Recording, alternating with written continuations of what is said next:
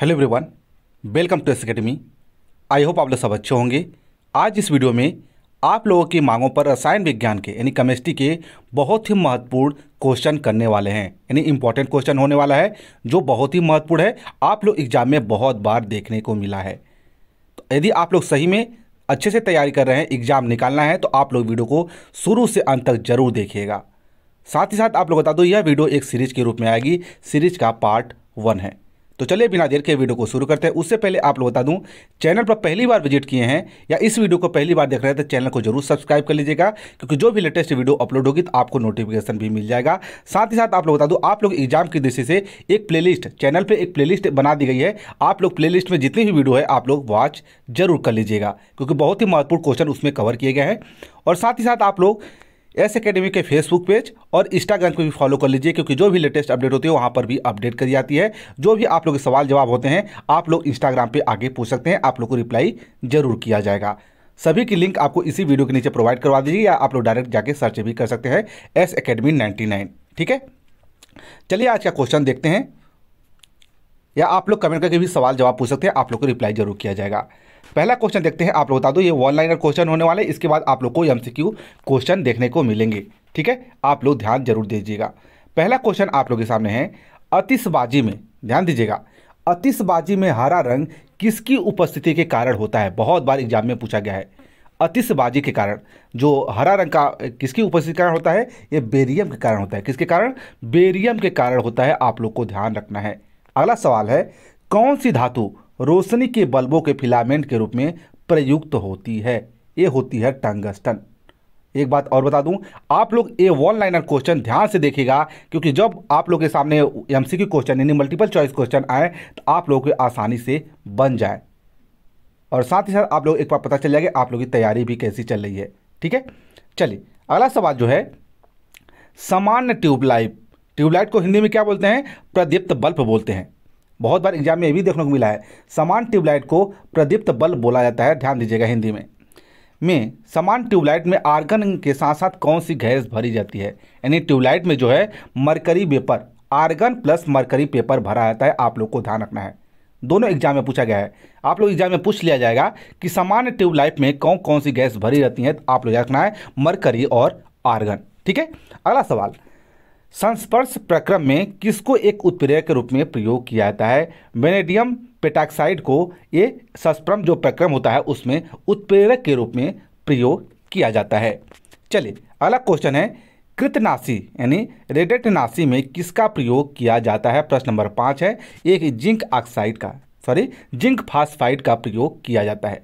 ठीक है, आप लोग को ध्यान रखना है। अगला सवाल, क्लोरीन हेलोजन सदस्य का उपयोग किसके रूप में होता है? क्लोरीन हाइलोजन सदस्य का उपयोग किसके रूप में होता है? कीटाणुनाशक के रूप में होता है।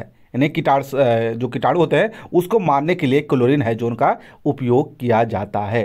साथ ही साथ आप लोग बता दें, यदि वीडियो को अभी तक लाइक नहीं किए हैं, आप लोग ज़रूर लाइक कीजिए। आप ही के लोग इतना वीडियो मेहनत करके बनाई जाती है। आप लोग सपोर्ट नहीं करेंगे तो आप लोग को वीडियो कैसे प्रोवाइड करवाई जा सकती है? आप लोग को बस लाइक और वीडियो को शेयर ज़रूर करना है।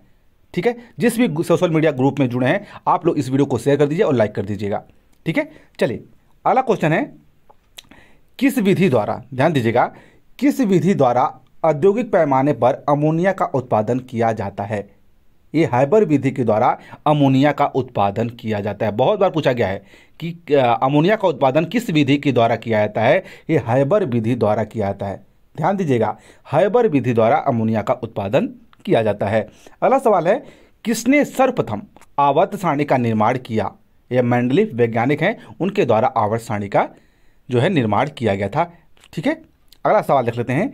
नाभिक से निकलने वाली विकिरणें, किसकी वेधन क्षमता सर्वाधिक होती है? गामा किरण की जो होती है, वेधन क्षमता जो है नाभिक किरण से निकलती है, उसकी सर्वाधिक होती है। अगला क्वेश्चन है, फोटोग्राफी में किस यौगिक प्रयोग किया जाता है? यानी फोटोग्राफी में किस यौगिक का प्रयोग किया जाता है? सिल्वर ब्रोमाइड रासायनिक है, उसका प्रयोग किया जाता है। ठीक है? ये जितने भी क्वेश्चन है वेरी वेरी इंपॉर्टेंट क्वेश्चन है। आप लोग ध्यान दीजिएगा। आप लोग पढ़ेंगे तभी आप लोग का एग्ज़ाम निकलेगा। नहीं तो आप लोग बोलते रहेंगे, ये टॉपिक पढ़ना है, वो टॉपिक पढ़ना है। फिर आप लोग का टाइम ऐसे ही आ जाएगा और आप लोग पेपर अच्छे नहीं निकाल पाएँगे। ठीक है? इस बात का ज़रूर ध्यान रखें। अगला सवाल है, कृत्रिम वर्षा। ध्यान दीजिए, कृत्रिम वर्षा कराने में किसका प्रयोग किया जाता है? सिल्वर आयोडाइड रसायन जो है, उसका प्रयोग किया जाता है कृत्रिम वर्षा कराने में। अगला सवाल है फ्लोरीन हेलोजन तत्व किसके साथ मिलकर अधिकतम यौगिक बनाता है? जिनोन के साथ। फ्लोरीन जो है, जिनोन के साथ मिलकर अधिकतम यौगिक बनाता है। चलिए, अगला सवाल लिख लेते हैं। ताप एवं दाब के समय सम अवस्थाओं में विभिन्न गैसों के समान आयतन में किसकी संख्या समान होती है? अणु की संख्या जो होती है, समान होती है। अगला सवाल लिखते हैं। एलपीजी में कौन सी गैस मुख्य रूप से होती है? एलपीजी में में मुख्य रूप से कौन सी गैस होती है? यह होती है ब्यूटेन। कौन सी गैस होती है? ब्यूटेन। आई होप सभी लोग को पता ही होगा। ये क्वेश्चन नहीं पता, आप लोग समझ लीजिए, आप लोग की तैयारी किस लेवल की है? एलपीजी में कौन सी गैस होती है? यदि आप लोग को नहीं पता है तो वैसे तो ब्रिटेन ब्यूटेन होती है, आप लोग आंसर पता हो गया, लेकिन आप लोग को पहले से नहीं पता होगा तो आप लोग समझ सकते हैं, आप लोग तैयारी कैसी है। और साथ ही साथ एक क्वेश्चन आप लोग से पूछते हैं। क्वेश्चन को, यानी प्रश्न को ध्यान से सुनिएगा, जो एलपीजी है। एलपीजी का फुल फॉर्म क्या होता है? कमेंट बॉक्स में लिखिए। ध्यान दीजिएगा। प्रश्न है, एलपीजी का फुल फॉर्म क्या होता है? सभी लोग को कमेंट बॉक्स में लिखना है, चाहे गलत हो, चाहे सही हो। ठीक है? अगला सवाल देख लेते हैं। मृद पेय में दाब के अंतर्गत गैसों से क्या उपस्थित होता है? CO2 उपस्थित होता है कार्बन डाइऑक्साइड जो है, उपस्थित रहता है। अगला सवाल है, कौन सा पदार्थ ऑक्सीकारक तथा अवकारक दोनों के रूप में प्रयुक्त किया जाता है? सोडियम नाइट्राइड जो होता है, दोनों के रूप में प्रयोग किया जाता है। अगला सवाल है सीओ पदार्थ अमोनिया की हैवर विधि में आयरन या फिर जो इसको बोलते हैं, उत्प्रेरक के लिए किसका कार्य करता है? निरोधक का कार्य करता है। ठीक है? किसका? निरोधक का कार्य करता है। अगला सवाल है, सामान्य निम्न में से हाइड्रोजन भविष्य का कहा जाता है। सामान्य निम्न में से हाइड्रोजन का भविष्य क्या कहा जाता है? ईंधन को।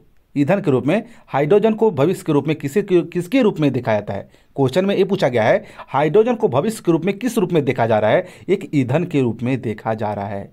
ठीक है? आप लोग को ध्यान रखना है। चलिए, अगला सवाल है। कौन सा सक्रिय पदार्थ क्षय होने के पश्चात सीमा में अंतरित रूप से बदल जाते हैं? ये समस्त रेडिया, रेडियो जो होते हैं छः रूप में पचास सीसा के रूप में बदल जाते हैं। अगला क्वेश्चन है, किसमें भारी जल का न्यूट्रॉन गति को कम करने कार्य होता है। नाव की रिएक्टर जो होता है, भारी जल जो होता है, न्यूट्रॉन की गति को कम करने के लिए उपयोग किया जाता है। अगला सवाल है, किसी गैस का अणुभार उसके वाष्प घनत्व का कितना होता है? किसी गैस का अणुभार उसके वाष्प घनत्व का कितना होता है? दो गुना होता है।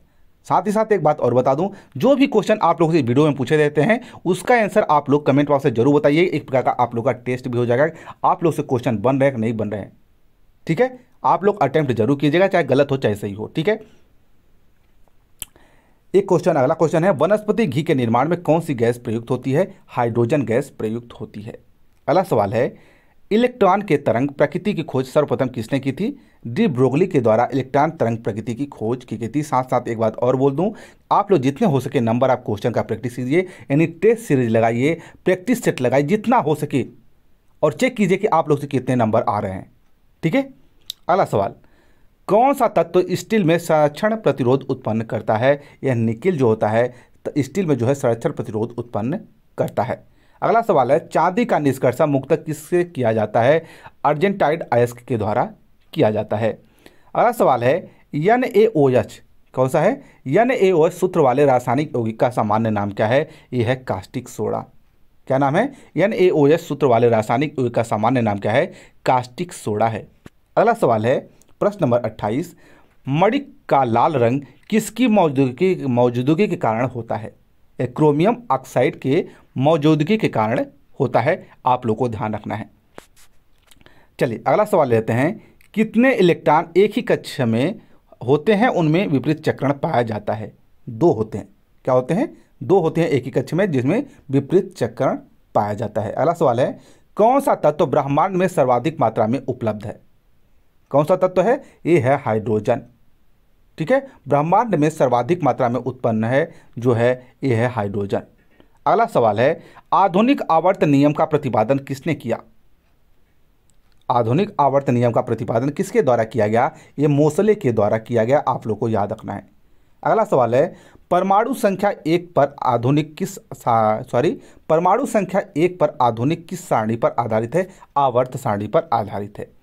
अगला सवाल है, किसको नियंत्रित करने के लिए उपयोग किया जाने वाला रेडियम आइसोटोप कोबाल्ट सिक्सटी है? ये रक्त कैंसर को, ल्यूकोमिया को जो है, कम करने के लिए कोबाल्ट सिक्सटी का उपयोग किया जाता है, यानी ब्लड कैंसर को। ठीक है? अगला क्वेश्चन है, हरा थोथा या हरा कसीस फोरस किस रासायनिक पदार्थ का प्रचलित नाम है? सल्फेट का है। किसका है? सल्फेट का। नेक्स्ट क्वेश्चन है, विद्युत धापी साधन के लिए तापी घटक बनने के लिए किस मिश्र धातु का प्रयोग किया जाता है? जो विद्युत तापी है, किसके लिए किया जाता है? नाइक्रोम के लिए प्रयोग किया जाता है। अगला सवाल है, किस पदार्थ के लगाने से कटे स्थान से रक्त का बहना रुक जाता है? वेरी वेरी इंपॉर्टेंट है। ये फ्रेरिक क्लोराइड। ठीक है? फेरिक क्लोराइड जो लगाने से यदि किसी भी कटे स्थान पर लगा देते हैं तो वहाँ पर रक्त जो है, ब्लड होता है, रुक जाता है। ठीक है? अगला सवाल है कौन सा एंजाइम ग्लूकोज को एल्कोहल में परिवर्तित करता है? कौन सा एंजाइम जो होता है ग्लूकोज को एल्कोहल में परिवर्तित होता है? ये होता है जाइमेस ठीक है? अगला सवाल, ट्रांजिस्टर में बनाने में आमतौर पर किसका इस्तेमाल होता है? सिलिकॉन का उपयोग किया जाता है। वेरी वेरी इंपॉर्टेंट क्वेश्चन है। ठीक है? आप लोग ध्यान रखना है। ट्रांजिस्टर बनाने में आमतौर पर सिलिकॉन का उपयोग किया जाता है। अगला सवाल है, बढ़ते हुए पौधे को किस तत्व की कम की सबसे अधिक मात्रा में आवश्यकता होती है। कोई पौधा बढ़ रहा है, उसमें किस तत्व की सबसे अधिक आवश्यकता होती है? यह होती है नाइट्रोजन की। किसकी होती है? नाइट्रोजन की। अगला सवाल है, प्लूटोनियम तथा सबसे पहले किस रूप से उत्पादित किया गया था? कृत्रिम रूप से सबसे पहले प्लूटोनियम का उत्पादन किया गया था। ठीक है, आप लोग को ध्यान रखना है, बहुत ही महत्वपूर्ण सवाल है। अगला सवाल है, कौन सा पदार्थ प्राकृतिक में तीनों अवस्थाओं यानी ठोस, द्रव एवं गैस में पाया जाता है? कौन सा? यस टू जो होता है, तीनों रूप में पाया जाता है। साथ ही साथ आप लोग बता दो, जिस भी टॉपिक पर आप लोग वीडियो चाहते हैं, वो आप लोग कमेंट करके बता सकते हैं। जिस टॉपिक पर बहुत सारे स्टूडेंट जो हैं, विद्यार्थी हैं, वो कमेंट करेंगे, उसी के ऊपर आप लोग को वीडियो प्रोवाइड करवाई जाएगी। आप लोग बता सकते हैं, ठीक है? एक साथ। अलग अलग टॉपिक पर करेंगे तो आप लोग को प्रोवाइड नहीं करवाएगी। जो क्लासेस चल रही है वही क्लासेस चलती रहेंगी। लेकिन एक साथ सभी एक ही सब्जेक्ट पर बोलेंगे, एक ही टॉपिक पर बोलेंगे तो उस पर आप लोग को वीडियो जो है, जल्दी से उपयोग जो प्रोवाइड करवा दी जाएगी। ठीक है? आप लोग ध्यान दीजिएगा। अगला सवाल है वाटर टैंक में शैवालों को नष्ट करने के लिए किस रसायन का उपयोग किया जाता है? कापर सल्फेट का प्रयोग किया जाता है। ठीक है? अगला क्वेश्चन है, भारी मशीनों में स्नेहक के रूप में किस पदार्थ का प्रयोग किया जाता है? यह ग्रेफाइट का प्रयोग किया जाता है। ठीक है? भारी मशीनों जो है स्नेह के रूप में जो प्रयोग किया जाता है, वह ग्रेफाइट का प्रयोग किया जाता है। अगला सवाल है, समुद्री जल से शुद्ध जल किस प्रक्रिया द्वारा प्राप्त किया जा सकता है? वेरी वेरी इंपॉर्टेंट आसवन विधि के द्वारा यह प्राप्त किया जाता है। अगला सवाल देख लेते हैं, खाना पकाने के तेल को किस प्रक्रिया द्वारा वनस्पति घी में परिवर्तित किया जा सकता है? हाइड्रोजनीकरण के द्वारा। किसके द्वारा? जो खाना पकाने वाला तेल होता है, उसको वनस्पति घी में परिवर्तित किया जा सकता है। हाइड्रोजनीकरण विधि के द्वारा यह बदला जा सकता है। अगला सवाल है, किसकी उपस्थिति के कारण चूने चूने का पानी वायु में रखने पर दूधिया हो जाता है? कार्बन डाइऑक्साइड के कारण। किसके कारण? कार्बन डाइऑक्साइड का जो है चूने का पानी जो वायु में रखने पर यह दुधिया रंग का हो जाता है। अगला सवाल जो है, सभी अम्ल धातुओं में प्रतिक्रिया कर कौन सी गैस निकलती है? हाइड्रोजन गैस निकलती है। ठीक है? सभी अम्लों में धातुओं से प्रतिक्रिया करवाने पर कौन सी गैस निकलती है? हाइड्रोजन गैस निकलती है। अगला सवाल है, राजस्थान स्थित। ध्यान दीजिएगा, राजस्थान स्थित जावर खान किस खनिज के लिए प्रसिद्ध है? यह जस्ता के लिए प्रसिद्ध है।